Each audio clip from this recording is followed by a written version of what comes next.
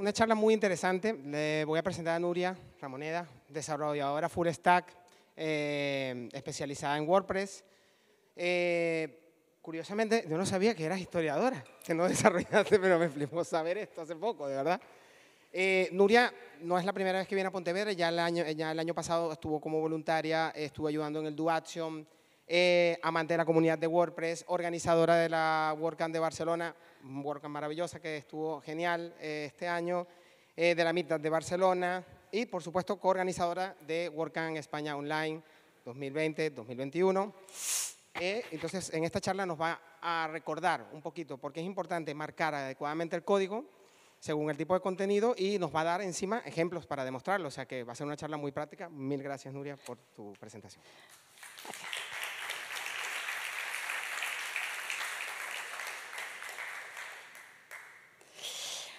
Buenas tardes, bienvenidos. Em, estoy muy contenta de estar aquí y mm, de poder hablaros y recordaros eh, cosas importantes. Vamos a hablar de contenidos semánticos, de la importancia del marcado adecuado, como ha dicho Bahari, de, poder eh, utilizar correctamente el, marcado semántico. Como voy a ir bastante rápido porque quiero explicaros o recordaros muchas cosas y, si no, no me va a dar tiempo. Pero mm, creo que fundamentalmente mm, lo que quiero que quede muy claro es esto. ¿vale? Eh, fundamentalmente quiero que os quede muy clara esta idea. Por favor, utilizad el marcado semántico, ¿vale? Utilizad HTML semántico. Vamos a ver un poquito por qué. ¿no? Vamos a ver primero un poquito qué es el HTML semántico. Em, básicamente es la estructura que es lo que da significado y estructura a nuestro contenido, al contenido que, ponemos en la web. Es lo que hace que el contenido sea leíble para humanos y máquinas, muy importante para máquinas fundamentalmente, evidentemente para los humanos también, pero es el que hace que las máquinas puedan leer detrás lo que, lo que, lo que estamos mostrando en la web. Em, y eh, una cosa a tener en cuenta, que a veces nos olvidamos, pero el, el marcado semántico no son solo los elementos del, HTML, sino también sus atributos. No nos olvidemos de los atributos porque muchas veces son muy importantes también y nos dan elementos que, son muy importantes. De aquí, mm, solo para saber un poquito, ¿cuántos de aquí sois desarrolladores? Vale. ¿Y implementadores? Vale. ¿Y diseñadores? Vale, tenemos un poquito de todo, está bien.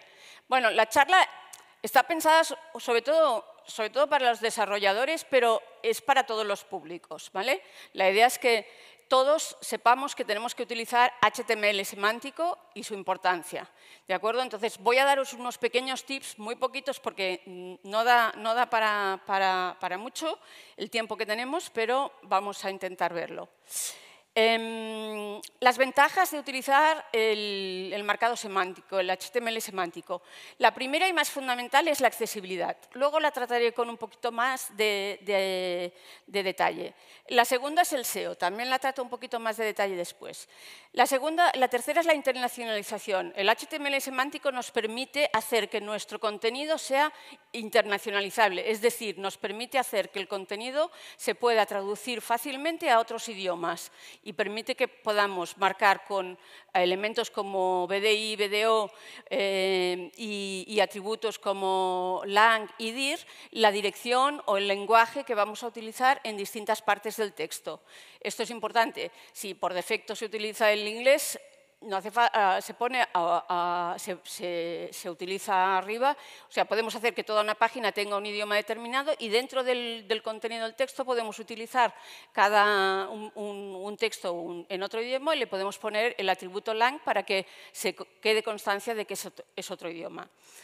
Em, la interoperabilidad en el sentido de que podemos reutilizar el contenido que estamos eh, marcando eh, en distintas partes de la propia web y además en distintas partes, en, otras aplicaciones, en otras, en otras webs, eh, en otros recursos. Podemos sindicarlo, lo más conocido es la sindicación a través de, de, las aplicaciones de lo que ahora no se utiliza tanto, pero que se sigue utilizando, ahora no me sale el nombre, eh, y, bueno, y luego de redes sociales, etc. Entonces, esto es algo que también el marcado semántico lo propicia. Por otro lado, por las buenas prácticas, es decir, el desarrollo de, código, del desarrollo de webs, eh, una de las buenas prácticas es hacerlo con código semántico, es utilizando HTML eh, correctamente, utilizando cada uno de los elementos semánticos que tenemos. Había preparado en esta presentación, nos había preparado al principio unas, unas capturas de pantalla de webs del año 96, del año 2000, del año 2005, del año 2010. Las he quitado porque no daba tiempo, pero para ver un poco cómo había evolucionado el HTML desde entonces ¿no? y cómo habíamos pasado de maquetar con tablas a luego maquetar solo con divs y luego a ir también introduciendo otros elementos semánticos. ¿no? Y si miráramos ahora veríamos que estamos un poco volviendo atrás en algunas cosas. ¿no? Entonces eso es lo que os quiero recordar no nos olvidemos. Y además es una buena práctica todas estas razones y además el código es más mantenible. Por supuesto, si tenemos un, espagueti, un código espagueti todo de divs, un div detrás de otro, em, a la hora de mantener ese código eh, es mucho más, menos identificado, eh, identificable que si tenemos bien estructurado el contenido con sus elementos semánticos.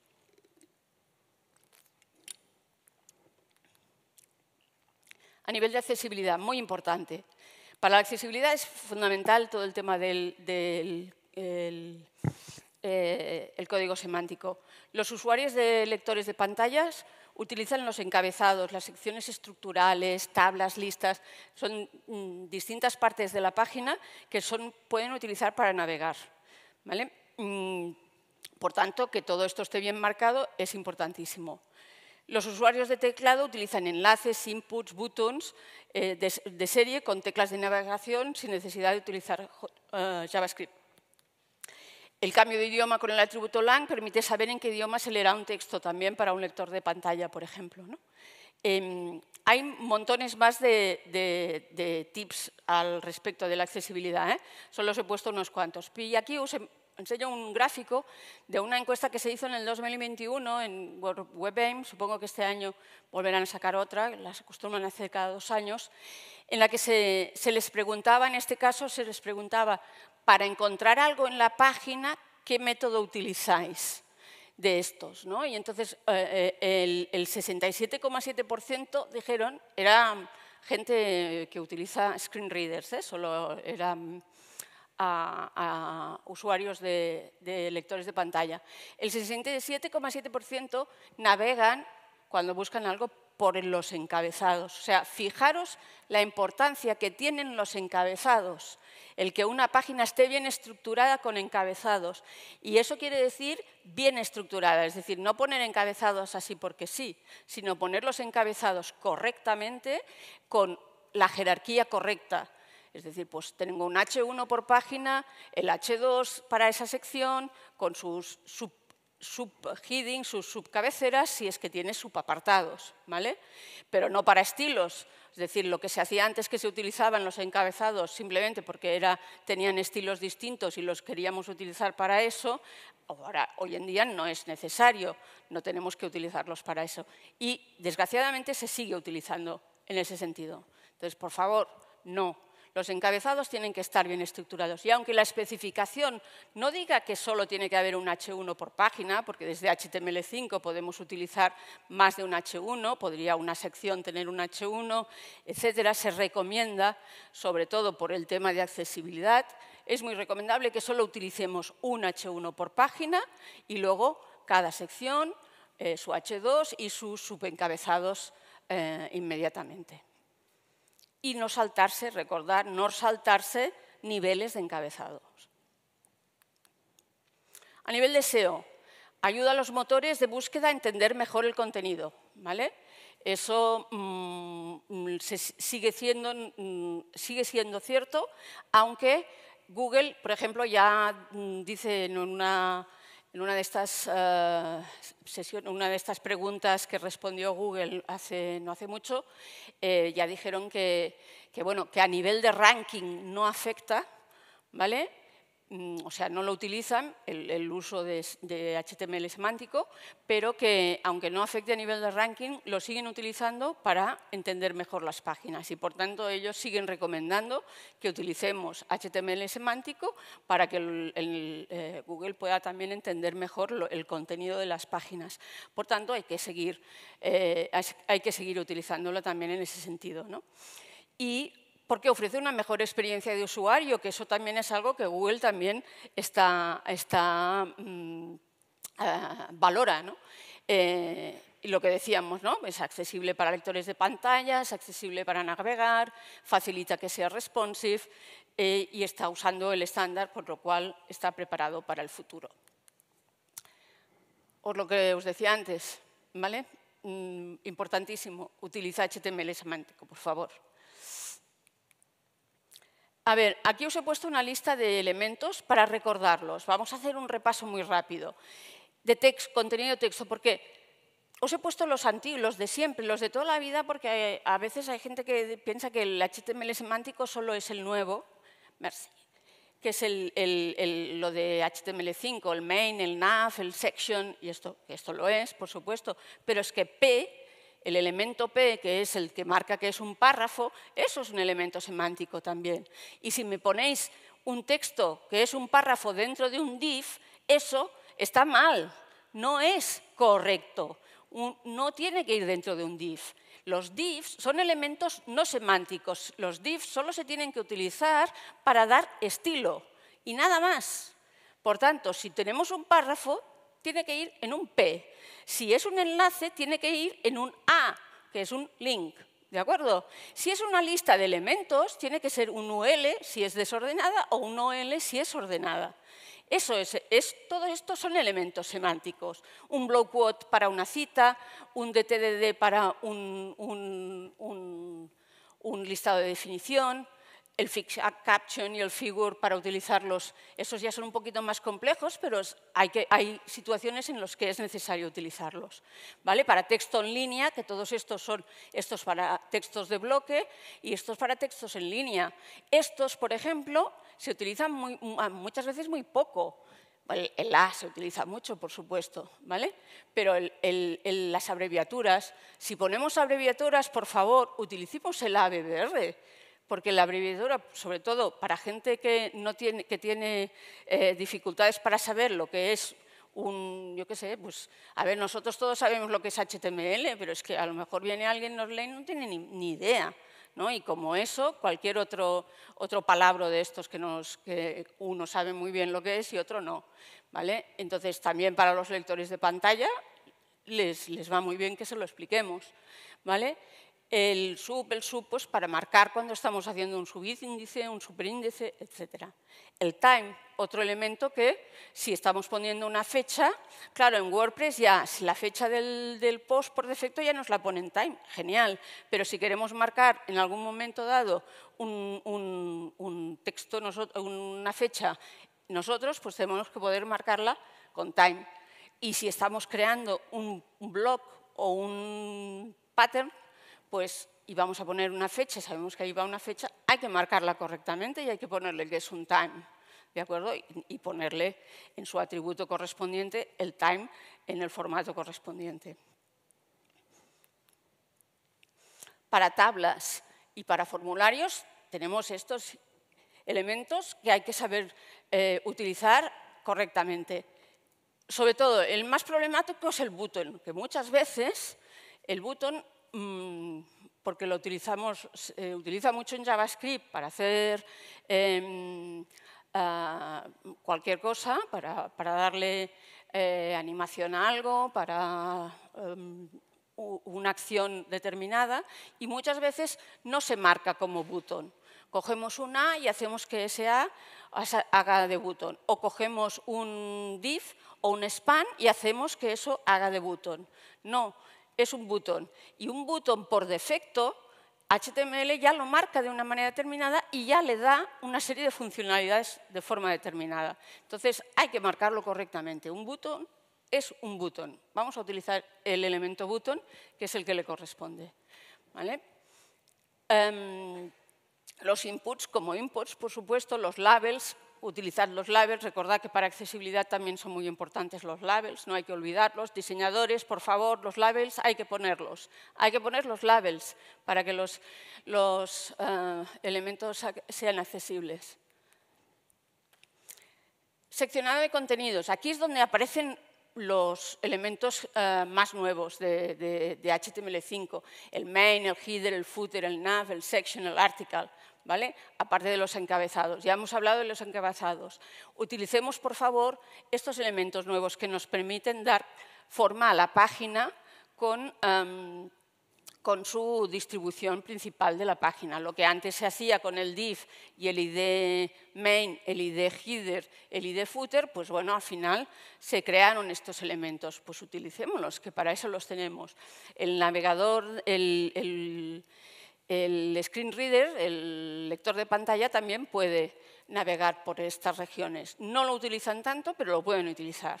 ¿vale? pueden ir solo al, footer, al encabezado, al al, centro del contenido, al main, etc.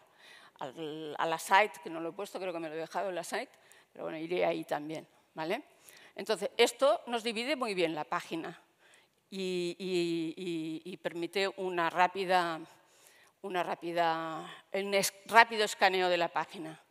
Contenido multimedia, bueno, esto de aquí también hay muchos elementos eh, nuevos. Lo dicho, por favor, utiliza HTML semántico. Eh, WordPress, ¿qué podemos controlar? ¿En bloques, patterns o temas a medida? Pues todo. Si lo hacemos a medida, evidentemente podemos controlarlo todo.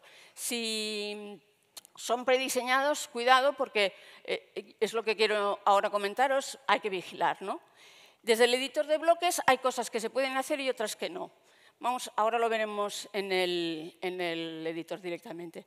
Aquí os he puesto un ejemplo de un, bloque de, Génesis que está muy bien, como ejemplo de, buena práctica, de un bloque que está bien hecho, porque está bien maquetado por defecto, está muy bien es muy bien, muy, muy bien personalizado y permite escoger los tags, precisamente eso. ¿no? Entonces aquí bueno, os he puesto tres pantallazos de, lo que permite hacer dentro del, editor de bloques. ¿no? Nos permite poner, es el, de, que lista los posts, ¿vale?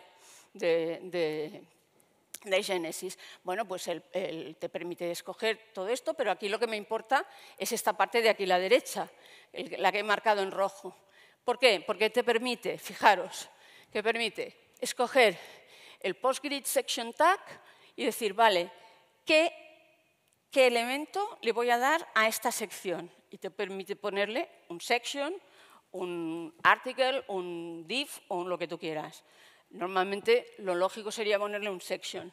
¿vale? Y te, permite ponerle, escoger qué header, qué heading, qué nivel de heading le pones a ese section, a esa sección. ¿vale? Y luego te permite decidir qué nivel de encabezado va a tener los posts que van ahí dentro. ¿Vale? Vale, bueno, esto es el código que se ve detrás.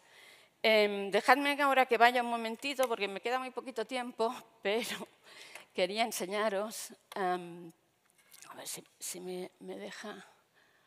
No, a ver. Si consigo... Bueno, pues ahí.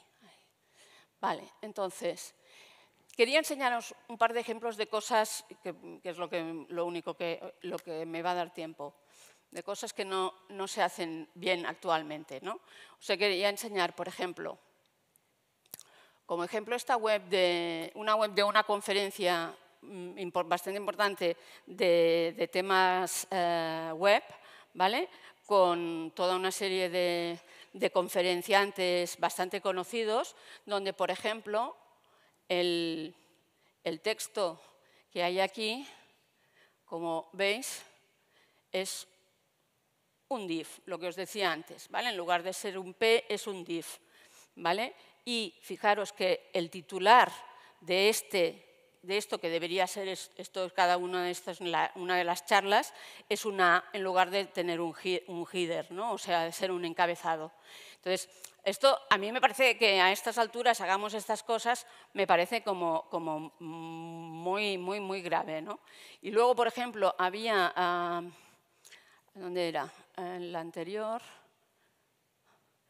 aquí, por ejemplo, tenían las, las, las fax, que es un ejemplo muy típico, ¿Vale? Fijaros, me ponen las fax, las preguntas como H4. O sea, no, no me ponen el, titular en el, artículo, me ponen aquí un H4 y en lugar de utilizar un, pues podría ser un, sitio perfecto para utilizar DTs, DDs, etc.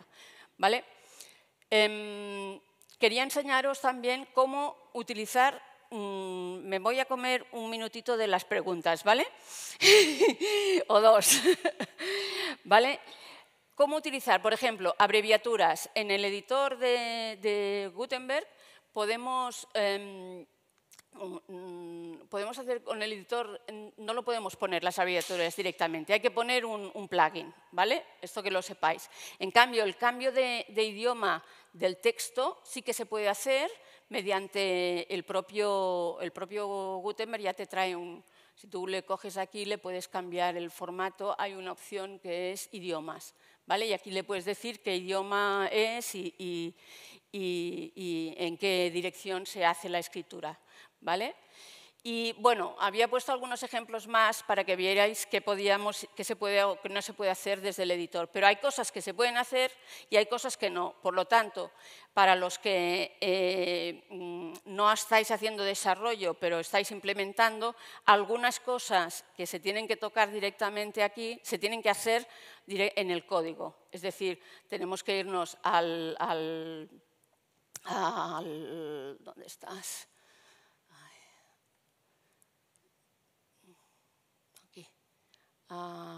Al editor de código y a lo mejor pues vais a tener que meteros aquí dentro y algunas cosas ponerlas directamente aquí. Ya sé que a nadie le gusta hacer esto, ¿eh? pero a veces, si no nos permite la herramienta hacerlo, pues vamos a tener que venir aquí y meterlo a mano. ¿Vale? De momento, mientras no lo mejoremos el editor y no tengamos más herramientas o no encontremos un plugin que lo haga. ¿De acuerdo? Bueno, me vuelvo a la presentación porque ya tengo que ir cerrando. Em, eh, esto, lo dicho, utiliza HTML semántico, por favor. Eh, cuando elijas plugins de bloques, mira todas sus opciones, revisa el HTML resultante. Cuando desarrolles bloques, no uses solo divs, solo, mm, solo para estilos, piensa bien el contenido, utiliza el HTML que corresponde. Utilizad MDN, por favor, que para eso está. Mm, buscad bien ahí el contenido, todo lo que hay eh, y, las especificaciones. En, MDN están todos los elementos. He puesto este enlace, eh, está la lista de todos los elementos, podéis buscarlos. Y ahí en cada elemento está el enlace a la especificación directamente usar herramientas de extensiones del browser para saber si está bien lo que estáis haciendo, validad el código, por favor, todavía existen los validadores, validemos el código que nos da muchísima información de si hemos hecho bien las, las cosas bien o mal. Os he puesto aquí algunas referencias interesantes de lo que he dicho y, por favor, utilizad HTML semánticos, espero haberos convencido con mi charla. Bueno, soy Nuria, ya os han contado quién era, como ya voy lejos de tiempo, pues ya sabéis. Muchas gracias. Muchas gracias.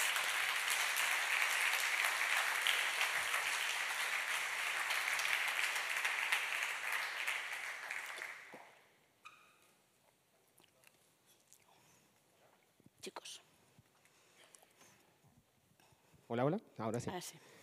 Fantástica charla. Muchísimas gracias, Nuria. Me queda solo una pregunta así básica antes de que pasen los demás. Entonces, ¿tú crees que es importante marcar el HTML en Os ha quedado claro. vale, vale, me parece claro, me parece muy bien. Vale. ¿Alguna pregunta? Hueco. Se tenía que decir y se dijo. Eh, te has, saltado muy rápido la, la, slide de la que tenías los validadores, etcétera. ¿Puedes darnos un poco eh, herramientas para validar sobre, el, sobre la marcha y para luego ser capaces de, evaluar el trabajo final realizado? ¿Tienes alguna, algún listado de herramientas? Tenías una, slide que te, las ha pasado sí, y no ha dado ah. tiempo a hacer ni la foto. A ver, estos son los validadores típicos de, código, el, de HTML, que es el, del V3C, que te valida el HTML. ¿Vale? Luego te valida también el CSS, que no es tanto en relación al HTML, pero que también hay que validarlo porque también eh, es importante. Y luego accesibilidad ya sabéis que validadores hay varios y que no hay ninguno que sea, porque la accesibilidad no se puede validar automáticamente toda, hay algunas cosas que puede validar, por ejemplo, os puede validar el tema de algunos temas de, encabezados, etcétera, pero, pero no, hay muchas cosas que se tienen que validar manualmente, por tanto, es difícil mm, hacerlo. Pero sí también es importante, por ejemplo, lo que decía, utilizar herramientas y extensiones del browser, por ejemplo, el Accessibility Tree, para ver también el, árbol de accesibilidad de la página, ¿vale?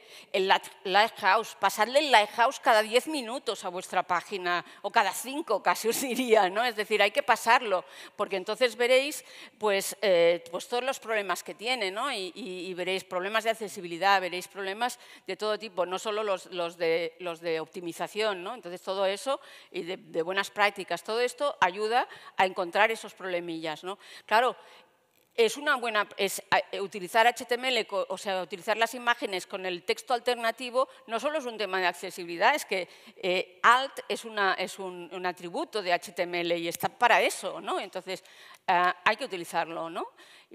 quienes más se van a beneficiar son los, la, gente con, con, problemas visuales, pero para eso están todas estas herramientas, os van a dar todos estos, estos problemas. Y una, mira, esto dejadme que. Eh, yo utilizo mucho esto, por ejemplo, si yo me voy aquí, ah, vamos a ir a este, al, al, de New York Times, que era otro que os quería enseñar. Yo utilizo esta herramienta que es de hace muchos años, las Web Developers Tools, y en realidad la mitad de las herramientas ya no valen porque porque son de, cuando se maquetaba aún con tablas y con estas historias, pero, mucha, pero hay, a, mí la que más me gusta es el View Document Online. Entonces, esto te, dice rápidamente cómo está estructurado un documento, ¿no? si, tiene todos los encabezados correctamente. Y ya te dice, vale, aquí has perdido el, H1, no lo tienes, el H2 tampoco, y luego tienes todos estos H3, ¿no? ¿Vale? Y aquí, mira, aquí me ha saltado del H4, a, del H3 a un H6 y a un H5 te ha saltado el H4. ¿no? Entonces, le pasas esto, hay otros, ¿eh? hay otros documentos online, pero a mí me sigue gustando más este, es el que más me gusta cómo lo hace, entonces por eso lo conservo. Entonces, le pasáis esto a cualquier página y enseguida veréis, ostras, me he dejado, eh, me he dejado aquí un, un encabezado, me falta un nivel, me falta otro nivel. Entonces, este tipo de herramientas ayudan a que todas estas cosas las vayamos colocando bien. ¿Vale? Muy bien, ¿alguna pregunta más? Sí, por allá.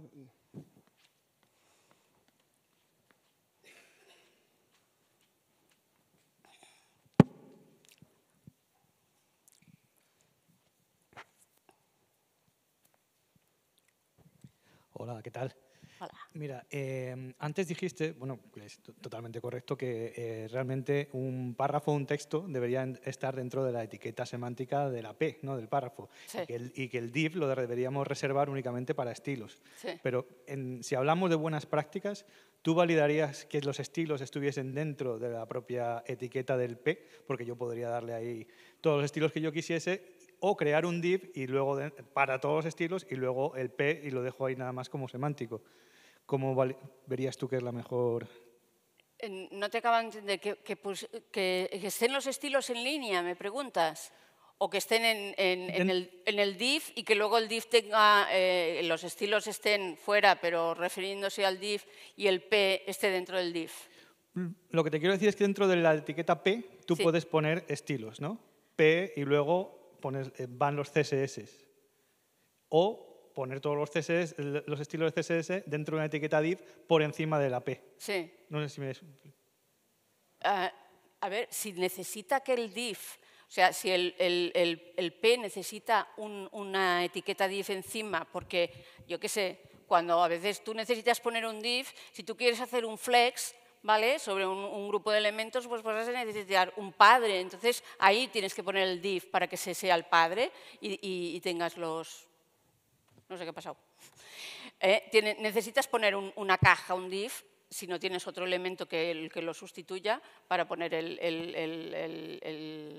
los estilos a esa caja. Pero a veces no hace falta. Si tú no necesitas un elemento padre y el P ya le puedes dar los estilos, se los das fuera, no en línea, en, CSS, en la hoja de estilos. ¿eh? Pero, pero ¿para qué quieres otro elemento? ¿Me explico? Sí, sí, perfectamente. Otra cosa, eh, eh, eh, ah, el problema muchas veces, mm, hay muchos divs, sigue habiendo muchas webs con muchísimos divs, mm, cuando deberíamos utilizar menos divs. Eso es en gran parte porque utilizamos muchas veces editores de contenidos que les meten muchos divs. El propio Gutenberg también le mete muchos divs, más de los necesarios. Pero si nosotros desarrollamos, intentemos también poner menos divs, es decir, los mínimos posibles, los que sean realmente estrictamente necesarios para los estilos y nada más. No... Pues nada, ya se nos fue el tiempo. Muchísimas gracias, Nuria, de verdad, y hacerte este pequeño regalo de la comunidad. Gracias. Bueno, y ya vamos a la última charla, ¿vale? En un momentito.